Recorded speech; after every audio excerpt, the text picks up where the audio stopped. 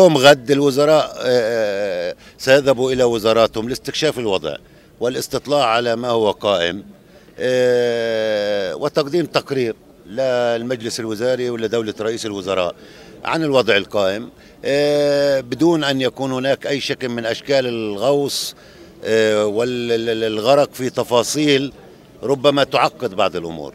إحنا مهمتنا أن نسهل مشوار المصالحة وإنهاء الانقسام. آه، بتقديري بأنه هاي جولة استكشافية لمجلس الوزراء وللحكومة آه، سيبنى عليها.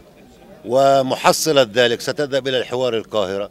الذي سيتم بعد أسبوع أو ما يقارب ذلك بيننا وبين الإخوة في حركة حماس وستطرح كل الأمور جدول أعمال مفتوح كل القضايا المعقدة ستكون على طاولة البحث بيننا وبين الإخوة في حماس ومن ثم سيكون هناك اجتماع فصائلي تحضر كل فصائل العمل السياسي الفلسطيني للخروج بصيغة شاملة لمفهوم الشراكة السياسية وإنهاء الانقسام. كان يخرج من قطاع غزة يوميا من أربع إلى خمسة آلاف شخص اليوم بخرج 600 إلى 700 شخص فقط. هذا دليل على أن الحصار يوميا يشدد على قطاع غزة من جانب الإسرائيليين. وإحنا متبعين هذا الملف ولكن أنا بعتقد بأنه في حال الوصول إلى اتفاق بالمصالحة وإنهاء الانقسام سيكون في هناك حالة من الضغط الدولي والإرادة الدولية في تحميل إسرائيل دون ذرائع.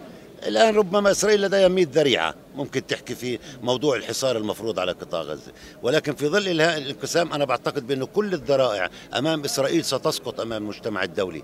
وستضطر أن ترفع هذا الحصار الظالم على قطاع غزة.